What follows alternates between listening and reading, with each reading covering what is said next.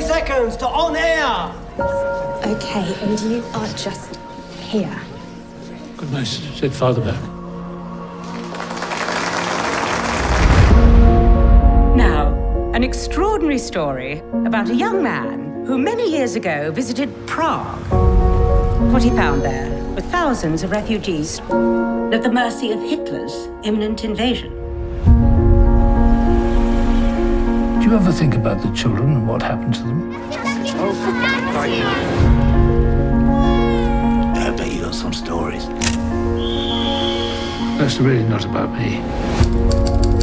We are working to evacuate these children by train to safety in Britain Why are you doing this, Mr. Winton? because I may be able to do something about it. I must.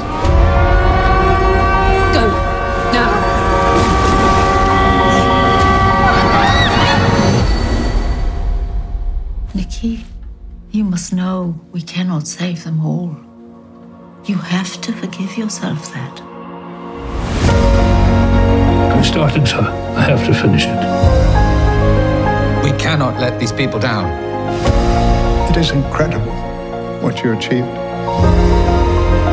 We're doing as much as we can. You have a lot of faith in ordinary people. Because I'm an ordinary person. Save one life, save the world. But forgive me, but how many children are we speaking about?